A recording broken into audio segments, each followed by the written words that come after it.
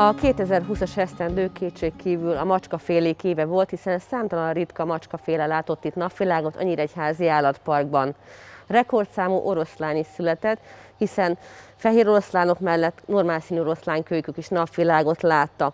Először akkor a tavaszi időszakban három fehér oroszlánkölyök született, ők igazi ritkaságnak számítanak, hiszen alapvetően egy Dél-Afrikában élő színváltozatról van szó, amely már a természetben kipusztult, köszönhető a különleges bundájának.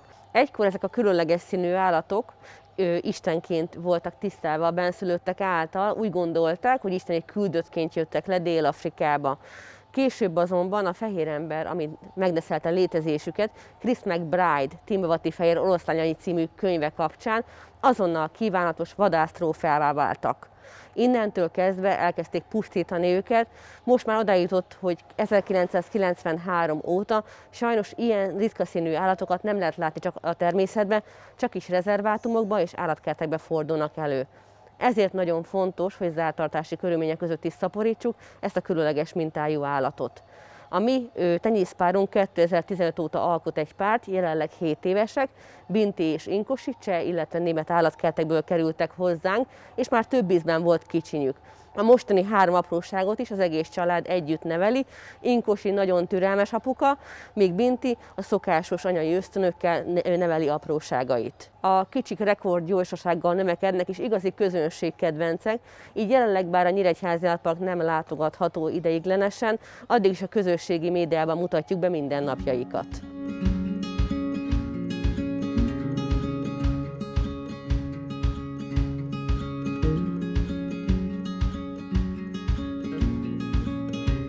Az afrikai élővilágát bemutató kifutó rendszerben nem csak fehér oroszlán kőkükkel lehet találkozni, hanem normál színű rokonaikkal is. A Nyíregyházi általában megszokott, hogy az első komolyabb állatorvosi vizsgálat kapcsán mutatkoznak meg a nagy közönségnek az újszülöttek. Így történt ez a kora őszi időszakban is, hiszen 6 hetes korban történt meg az első komolyabb vakcinázás és testtömegmérés is. Azt azonnal láthattuk, hogy erőteljesebb testalkattal bírnak, mint fehér színű rokonaik, és kicsit ő, mogorvában tűrték az állatorvosi vizsgálatokat is.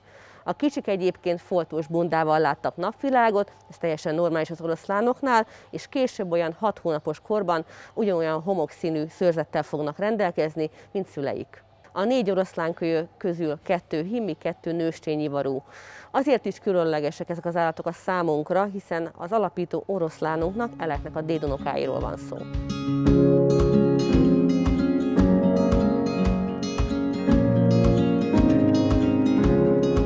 A rendkívül ritka Geoffroy macska kifutójában is kopogtatott a gólya a különleges macskafélének a világra jövetele azért is igazi zoológiai szenzáció, mert 2020-ban mindösszesen három állatkertben sikerült szaporítani.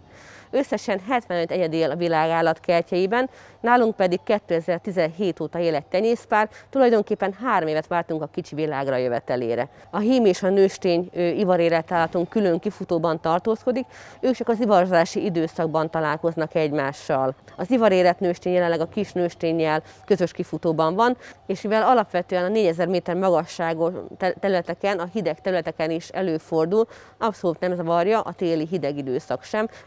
Előszeretettel szokott ilyenkor is a külső kifutóban tartózkodni.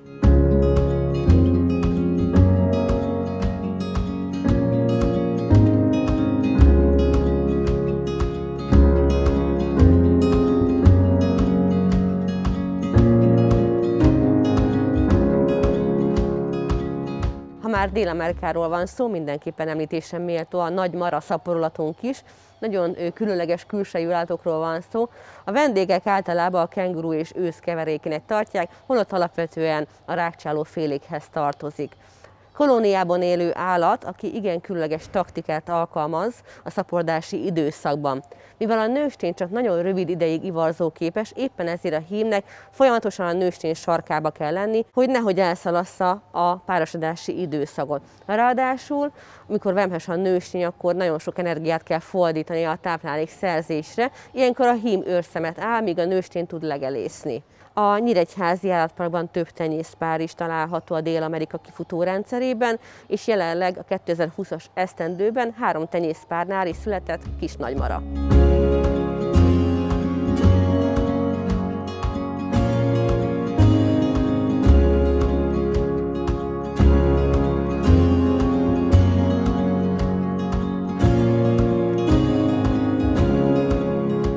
Állatkerti sétánk során érdemes volt szétnézni az ausztrál kifutórendszerben is, hiszen a legnagyobb ö, kengurú félivel, a vörös óriás kenguróival és utódaival is találkozhattunk. Míg általában tudjuk, hogy ha egy állatnak kicsinye születik az első naptól kezdve, a vörös óriás kengurunál is alapvetően az erszényeseknél ez nem jellemző. A picik rendkívül fejletlen módon embrionális állapotban látnak napvilágot, és tulajdonképpen mi is több hónapig sem tudunk a létezésükről. Az első alkalom olyan 10-12 hét, mikor először kidolgják a fejüket az erszényből, addig csak sejtjük az erszény mozgásából, hogy van lakója az erszénynek. Körülbelül 4-5 hónaposan dugják ki először az erszényből a fejüket, ilyenkor még nagyon kevés szőr található rajta, viszont már kenguru formájúak az állatok, és olyan 7-8 hónaposak, mikor elhagyják azt véglegesen. A faj latin neve Macropus rufus, ami azt jelenti, hogy vörös nagylábú, hiszen a hímállatok vörös testbundával rendelkeznek, és hatalmas hatalmas hátsó lábaik vannak. Az pedig maga a csoda végignézni, hogy egy szinte gumicukor nagyságú embrióból ivalélet korában akár 180 cm-es nagyságú himálat is lehet.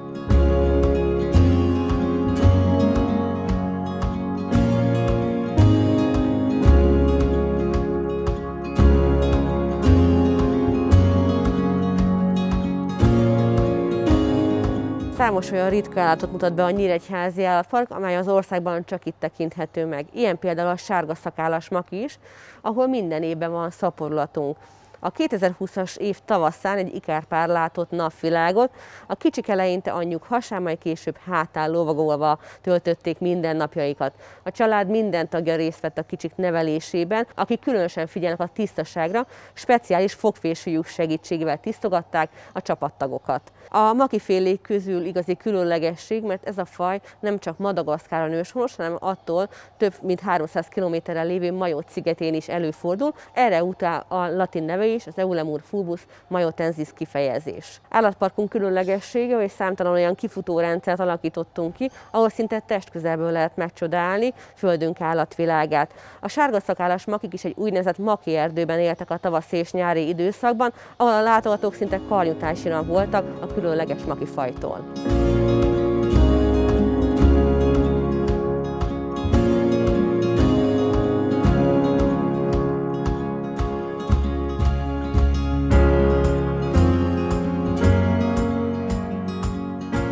Tavalyi esztendőben amerikai és európai bölényborjak is napvilágot látta. Mind a kettő olyan faj, mely sajnos a természetben a kipusztulás szélére került, az ember térhódításán következtében. Az állatkertek szerepe itt is nagyon fontos, hiszen teljesen átértékelődött most már a szerepünk. Nem csak szórakozhatunk, hanem oktatással, kutatással és fajmegőrzéssel foglalkozunk. Ennek egyik ikonikus példája az európai bölény, mely a létét az állatkerteknek köszönheti, hiszen már a természetben annak ellenére, hogy még annak idején Mátyás király korában Magyarországon is élt, az 1920-as években kipusztult. 1923-ban az Európai Bölényvédelmi Társaság kezdte el az állatkerti egyedeket összegyűjteni, majd szaporítás után visszatelepítette őket eredeti élőhelyükre. Ha nincsenek állatkertek, ez a faj sem lenne. Amellett, hogy a ritka amerikai és európai bölényborjak tenyésztésével foglalkozunk, óriási lépés történt visszatelepítési szempontból is, hiszen 2020-ban egy 2018-ban nálunk született európai bölény már visszakerült a szabad természetbe.